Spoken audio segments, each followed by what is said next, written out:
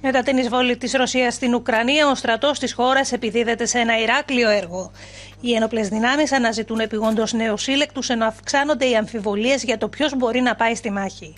Μέχρι στιγμής οι γυναίκες έχουν ως επιτοπλίστων γλιτώσει, αλλά μερικές από αυτές προετοιμάζονται από καιρό για τον πόλεμο, αν χρειαστεί ή για να αμυνθούν, ακόμη και αν ελπίζουν ότι δεν θα συμβεί ποτέ.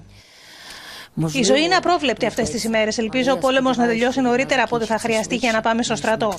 Θέλω να κάνω πολλά άλλα πράγματα, όπως να βοηθήσω τη χώρα μου να αναπτυχθεί, να εργαστώ, να μεγαλώσω το γιο μου ώστε να ζήσει σε μια ευημερούσα χώρα, μια χώρα που δεν υπάρχει πόλεμος.